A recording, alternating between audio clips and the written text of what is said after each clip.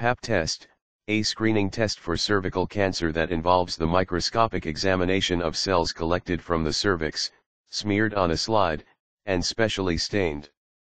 A PAP test can reveal premalignant and malignant changes in the cells, as well as changes that are due to non-cancerous conditions, such as inflammation. Named after the physician George Papanikolaou, who developed the test. Also known as pap smear.